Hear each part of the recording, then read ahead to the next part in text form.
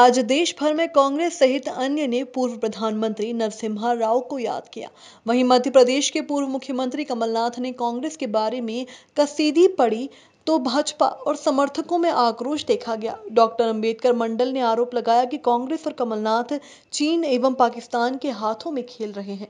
लोग अपना गुस्सा जताने सड़क पर भी उतरे। मिली जानकारी के अनुसार भारतीय जनता पार्टी के निर्देश अनुसार आज डॉक्टर अंबेडकर मंडल ने विरोध प्रदर्शन किया। इस दौरान कांग्रेस में केंद्रीय मंत्री रहते हुए कमलनाथ ने छोटे उद्योगों की कमर तोड़ दी थी। डॉक्टर अंबेडकर मंडल द्वारा विजयनगर चौराहे पर कमलनाथ का पुतला दहन किया गया।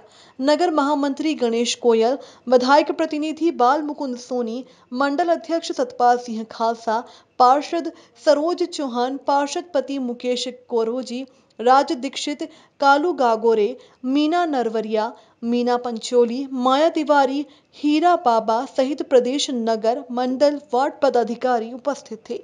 इस कार्यक्रम में सोशल डिस्टेंसिंग का पूरा ध्यान रखा गया था। अंत में विधायक प्रतिनिधि बाल मुकुंद सोनी ने जल कर खाक हुए पुतले का कचरा सड़क से साफ़ किया और स्वच्छता का संदेश दिया। ये जिस समय कांग्रेस की सरकार थी मनमोहन सिंह जी, उस समय कमलनाथ जी केंद्रीय मंत्री हुआ करते थे। उस समय कमलनाथ जी ने चाइना के वस्तुओं का जो आयात किया था, उसका शुल्क इतना कम कर दिया गया था कि जो देसी उद्योग थे छोटे छोटे वो उद्योग सब ध्वस्त हो गए हैं। इनकी नीति के कारण वो चीज़ अभी जानकारी में आई कि केंद्रीय मंत्री रहते हुए इनने चीन का जो सपोर्ट किया उससे भारत देश का जो नुकसान हुआ है छोटे छोटे उद्योगों का उसी के विरोध में आज सभी जगह समय 12 बजे उनका कमलनाथ जी का पुतले का दहन किया गया तो आपकी कुछ मांग भी है क्या? हमारी मांग ये है कि इनका चेहरा जनता के सामने लाए। जनता, इनको पहचाने किस तरीके से कांग्रेस में देशद्रोही लोग रहते हैं और देश के हित में जो काम बिल्कुल नहीं करते हैं देशद्रोही का जो इनका चेहरा है, वो जनता के सामने आए।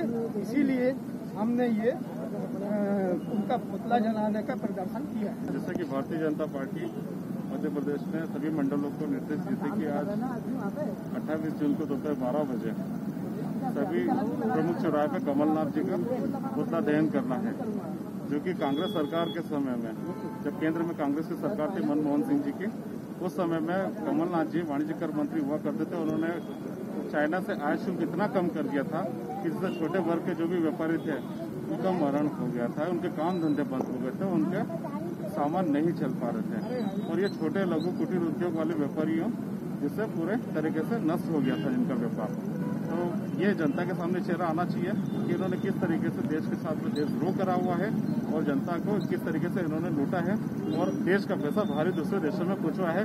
वही चाइना, जो कि आज हमारे सैनिकों को मार रहा है और आज जो कि भारत पे अपने अनैतिक तरीके से कब्जे कर रहा है, हम उस चाइना का विरोध करते हैं और ये कांग्रेस सरकार को बता देना चाहते हैं कि इस तरीके का देशद्रोही देश में नहीं चलेगा और अब सारे देशद्रोही देश में उजागर होंगे।